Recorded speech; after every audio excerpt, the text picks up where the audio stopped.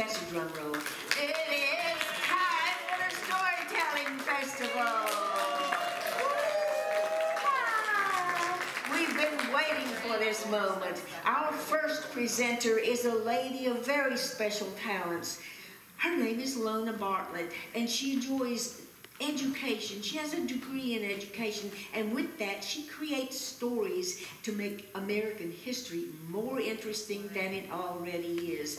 She creates puppets, she makes scripts, and she brings to life stories from tradition and family stories. Let's welcome to the stage Lona Bartlett.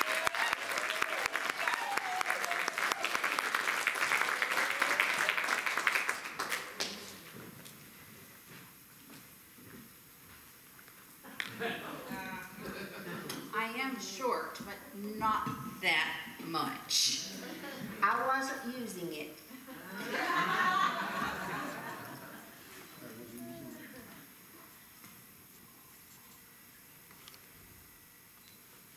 A fairy tale.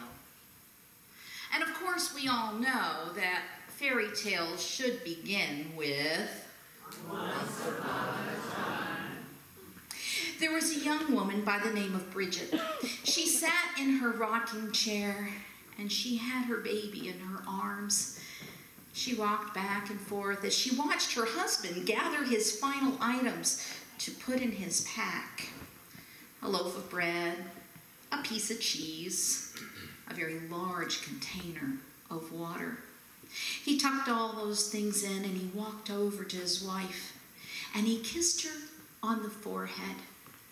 He bent over and he kissed his baby on the forehead too. Will you be okay while I'm gone? Of course I will. You take this trip twice a year to the marketplace. I will be fine. Oh, but this year you, you have the baby. He will keep me company. I will be fine. Well, he picked up his bag and Bridget walked him to the door. I will bring you some new yard goods so you can make yourself a new dress. And I'll bring some things for the baby back too. There was one more hug and, of course, a kiss. And he was on his way. He walked down the road, up the hill, and out of sight. he had told her earlier that he would be gone for four days, a week at the most, and, that was usual for this trip. And she was excited about getting those yard goods because, you know, her outfits were not fitting the way that they should. They were kind of ill fitting since the birth of the baby. Well, the four days passed and he did not come back. She watched for him, and then seven days passed, and she began to get a little concerned. Eight days? Eight days turned into two weeks. Now she was worried. Two weeks turned into a month, a month turned into three months, four months, six months. And her husband had not come back. Oh, she heard the whispers about town. I heard that he was eaten by wolves. Oh, no, no, no, no. I heard he found someone that he might like just a little bit better. She didn't pay attention to him. She knew her husband, and she waited for him. Well, she had started selling off her livestock. I mean, after all, she had to have some money for her and her baby. And not only some of the livestock, but she started selling precious items from her home a pair of candlesticks, a pin from her mother. After all, she told herself, they're only things. There was one animal, though. Oh, she held on to. And it was a pig. That pig was um, uh, uh, pregnant. she was feeling the most joy that she had felt since her husband went missing. Those piglets were going to be her her livelihood. They were her future. They were her income. They were her bacon. She was excited. Oh, and finally the day came. There was squealing that came from the barn. She picked up her baby. She went out there and waited for those piglets to be born. It was going to be a good litter. She knew that it was going to be great. And she sat there and she waited. And the squealing went on and on and on. And then the baby got tired and the baby started squealing and the pig was squealing and it was squealing in stereo. She couldn't take it any longer. She was getting worried about the pig now because the babies, the piglets, had not come. She carried her baby back into the house and she rocked him and put him down in his crib.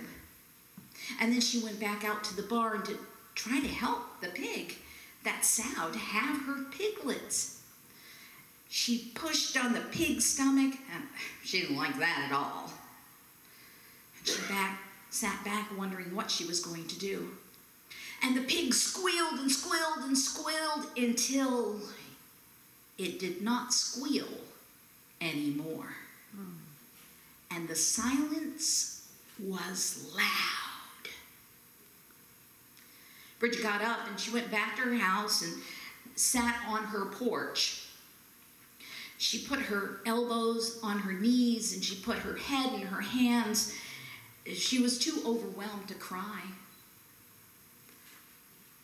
She got up and got a drink of water from the bucket that sat on the porch. She took a swig and set the cup down and went back to holding her head in her hands. When she sat up, she saw a woman, an old woman, walking down the road. And that old woman was hunched over and, and small. She was wearing a lovely green velvet gown, and she wore a matching green velvet hat on her head that had a swooping feather on the side. And she carried a staff that was much too large for so small a woman, but yet she used it to walk along. The woman approached Bridget and spoke.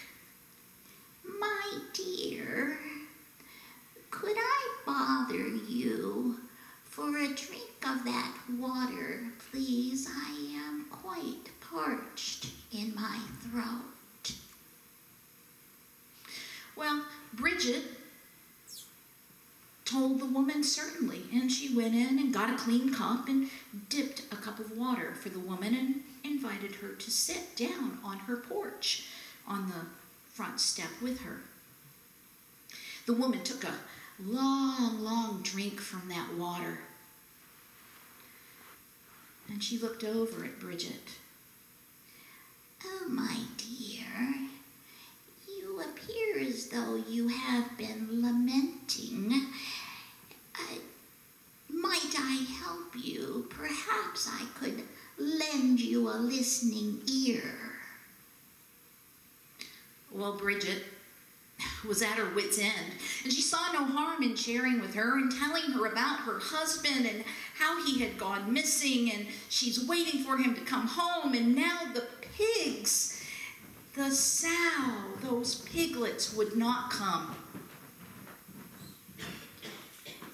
Oh, well, perhaps I could help you with that.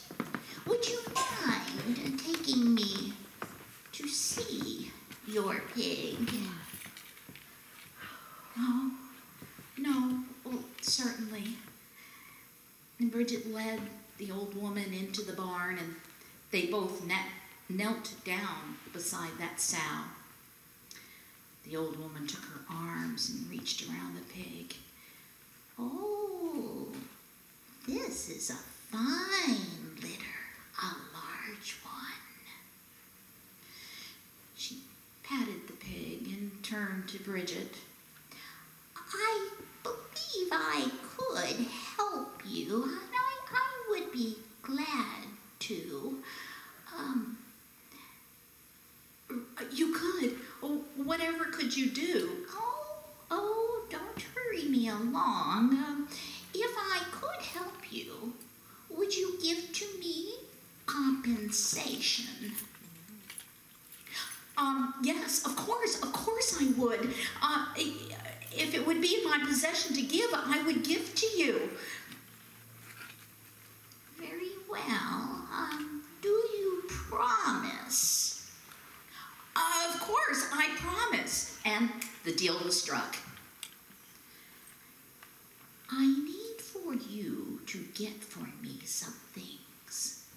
The old woman told Bridget that she needed a bucket of clean, pure water. She needed a root from the flower, the white one that grew on the mountainside. She needed a sharp stone of granite, and she needed a clean white cloth. Bridget went and gathered all those things in haste, and she brought them back to the old woman. The old woman took the cloth, dipped it in the bucket, and began to wash off the root. And it crackled as she did. She picked up the stone of granite and she began to scrape at the flesh of that root. She put it in the bucket and she stirred it around. She had a pouch that was on the side of her waist, and in that pouch she pulled out some herbs and some leaves and she crushed them in the bucket. And then she stirred it again. She picked up her hand and she let some of that water dribble down into the mouth of the pig. And they waited. Squeak, squeak, squeak. That pig started making noise again. Oh, it was as if it was music to Bridget's ears. She was so excited. And then the pigs came. The first one, the second, the fifth, the eighth, the tenth, the twelfth, fourteen, sixteen piglets. It was the largest litter that Bridget had ever seen. Oh, thank you. Thank you ever so much. I oh, this is just wonderful. I I I don't know what to say. Oh, but you do remember that you promised me compensation. Oh, of course. Um, please, uh, the only thing I have of value are my piglets. Take your pick, whichever one you wish you may have. Oh, no, no, no, my dear. I, I want something small, but I would not take your piglets. I, I do know how important they are to you. Um, well, I, I don't know what else I have that's of value. Oh, you do have something that I would want. Bridget sat back. She couldn't think of anything. Uh, it's small and it's soft and it's sleeping in your cabin right now. My baby? How do you know of my baby? I did not tell you about my child. Oh, I have my ways. I do know some things. Oh, no, no, no, you can't have my baby. You made a promise to me, but not my baby. You did not remove him from the contract. I remove him now. You cannot. It was at that point that Bridget realized who she had made a promise to. You are one of the dark fairies. I am. And Bridget had nothing to do except surrender. Because going against a dark fairy would mean that she would lose not only her son, but her piglets, her sow, her farm, and her life. Oh, but my dear, I, I see that you are distressed. You seem much more distressed now than when I came to help you. You know, I am, I am a person. I am one of compassion, and I, uh, I like to play a game now and then. We will play a game. A game? What, what sort of game? Oh, it is easy. I will give you three days. And in those three days, I will return when the sun is high. When I come back, I will give you three opportunities to guess my name. And if you are able to guess my name, I will return to you the child. And Bridget, In fact, I will not collect him until I return. Bridget, of course, surrendered. She accepted. She nodded. She said yes. There was nothing else to do. At least she would have three more days with her baby. The first day, Bridget held her baby in her arms and did not put him down. She walked around and she thought of every name that she could absolutely think of, anything she had ever heard. And nothing came to her. The second day, she walked around her house and, and she, her, her mind was vacant and she thought, if only I had an iPhone 10, I would be able to Google it and I would know what her name was. But since fairy tale cell phone service had not yet been invented, she was left to her own imagination. On the third day, she needed to escape for just a little while. She rocked her baby, put him down in his crib, and she went walking through the forest. She was at a loss. What was she going to do? But then she heard a voice. Singing? There was chanting? And she headed towards the voice. And she stayed behind the bushes, not knowing who it was. But as she got closer, she heard.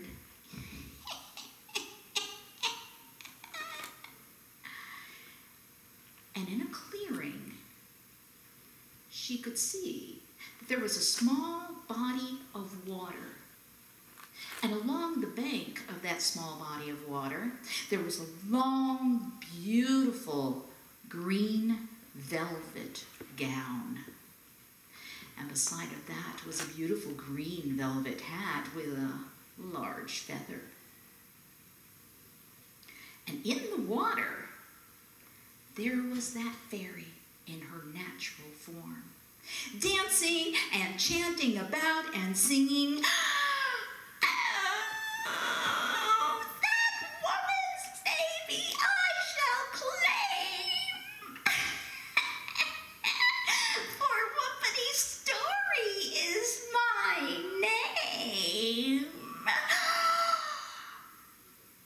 The woman gasped. She put her hand over her mouth for, for, for fear that she would make too much noise and reveal herself from behind the bushes. She backed away slowly and tiptoed out of the woods. She got back to her cabin and she picked up her baby and she danced with him about her home. Saying whuppity stoorie, whuppity stoorie. Her name, her name is Whuppity Stoorie. Was nearly time for the sun to be high in the sky. She took her rocking chair and she put it out on her front porch and she sat down in it. And she thought, oh, I do like a good game myself. Mm-hmm. She rocked her baby in that chair, and she watched as the woman came down the road walking with that long staff. The woman got close. Oh, my dear. I'm back to claim the child. Give him here. Give him to me. Oh, oh, Bridget had taken on this look of seriousness. And she held her baby close to her as if she would never see him again. No, no, you've given chances. I have three guesses. I could try for my baby for three times. Oh, very well. Go ahead. You will not guess my name, but go ahead. Um, okay, I, I thought for a long time. I mean, I was walking around your cabin. I don't want to hear that. What do you think my name is? Um, your name, your name, your name is Mary. I know. Mary is a strong, noble name, and your name must be Mary. That is not my name. I would not have so common a name as Mary. Oh, oh dear. Give me the baby. Just give him to me. You will not guess my name. Oh no, no, no, no. I have two guesses, two more guesses. Um, okay. Uh, um, how about uh, uh, Raban, Rabane, Rampa, Rump, Rumpapum? No, um, um, Rumple. Oh, Rumpelstiltskin? No, he's a hideous little man and such an amateur. oh, oh dear. Um, Give me that child. uh, um, no, I have one more guess. I have one more guess. And Bridget sat in her chair for a moment. And then she rose, her back straight. She walked towards the fairy and pointed at her and said, I know your name. Oh, poof. No, you don't. Your name. Your name is Whuppity Stoorie. No! Who told you? Who told you my name? I will surely have their life. Oh, it was you. As you danced and frolicked in the water in the woods, you told me your name. And with that, Whuppity Stoorie twisted and screeched and poof, she was gone in a cloud of dust. And the spell was broken. And we know this because on the road before the young woman stood her husband. And we want that to happen because, after all, fairy tales should always end with, and they lived happily ever after. That is my take on the Scottish fairy tale of Whuppity Stoorie.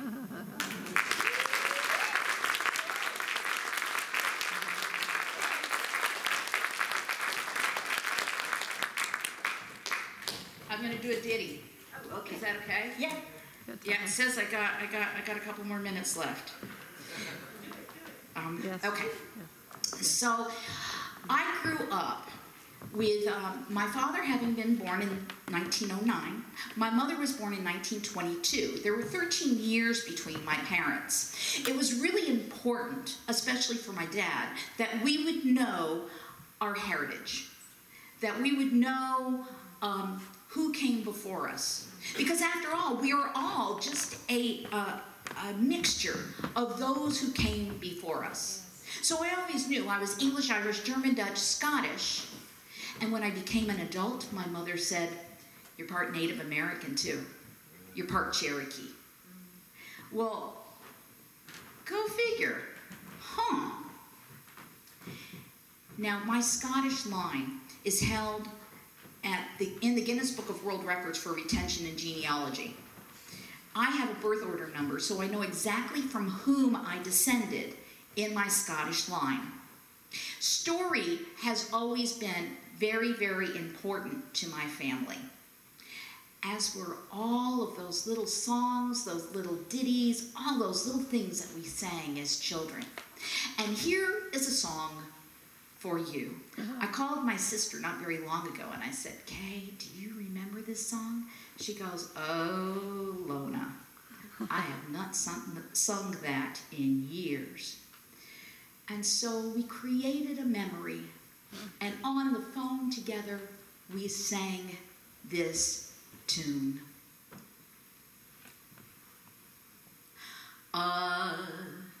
Cannibal king with a big nose ring fell in love with a dusty maid, and every night, the pale moonlight crossed the lake he came. Oh, he hugged and he kissed that pretty little miss in the shade of the bamboo tree. Every night, the pale moonlight sounded like this to me. Barum, barum, barum, diddy ah, eh, yaddy, yay, yay, barum, barum, barum, diddy yaddy, ay. Ah, I'll build a buckle up? Big enough for two, big enough for two, my honey, big enough for two. When we are married, happy we'll be. Under the bamboo, under the bamboo tree. Barum, barum, barum, barum, barum, barum. If you'll be Am I any M-I-N-E mine, L-B-T-H-I-N-E thine, and I'll be love you all the T-I-M-E time. You are the B-S-T best of all the R-E-S-T rest, and I'll be love you all the T-I-M-E time. Breakable, stackable, any old time. Bump diddy bum bum.